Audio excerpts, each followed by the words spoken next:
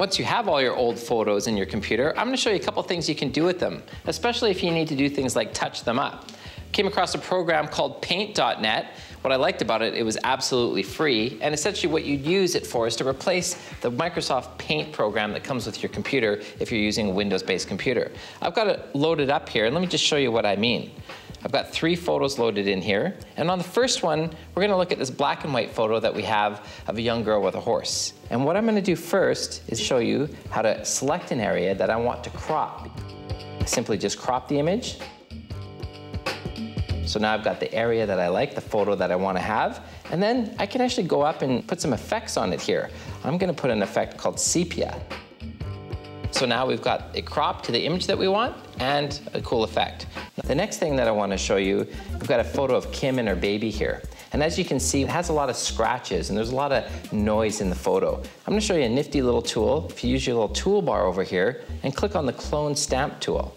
What we do is by selecting an area that's good, we simply just clone it and then stamp out the area we wanna get rid of. You see how simple that is? If I zoom back out here, you can see that we've got this nice clean photo now. We got rid of a lot of those scratches and marks. Last one I want to show you, this is a picture that's overexposed. We've scanned this one in and let's face it, um, it's not a great photo. So I'm going to show you how we can go into things like adjustments. We're going to start with brightness and contrast. Simply by adjusting the brightness or the contrast, you can quickly see how I might get some detail back in that photo. Well, let's take that one step further. I'm gonna go to this tool called Curves. Now what this does is this allows me to drag a line that has sort of an inverse relationship between the brightness and the contrast, and you can see here how I can manipulate it so that I can get certain areas of the photo with rich, rich detail, and other areas that still have that sort of misty effect. Now that we have all three photos all touched up, I wanna show you some things you can do, like print them. We're gonna take a look today at the Canon multifunction printer. It's called the MG8120. And if you have the desk space, this is definitely a photo printer that you might wanna take a look at. First of all, we've printed out that photo that we touched up, that first one with the little girl and the horse. And as you can see here, we've cropped that in and we've added that sepia effect. Now this is a beautiful photo. This would be something I'd recommend you frame and actually put on the wall in your house. That way anyone who comes over gets to see it. They don't have to crowd around your computer. Another thing I liked about this photo printer, if we open up the top here, we've been talking a lot today about things like slides and film. Well, if I click this off, it has a built-in slide and negative scanner in it.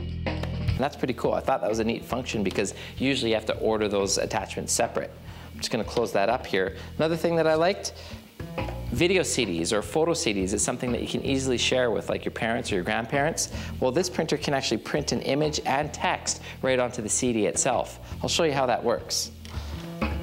First of all, you'll need a CD with a printable surface, and once you have that, you simply put it into the tray here like this, and now inside the printer here, if I pull this little lever down, you can see there's another tray there.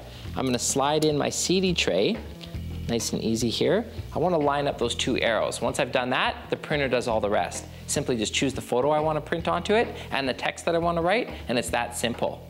So if you want to touch up your photos, take a look at paint.net. It's absolutely free. And if you want to do some fun, cool printing, check out this multifunction printer from Canon. This is the MG8120.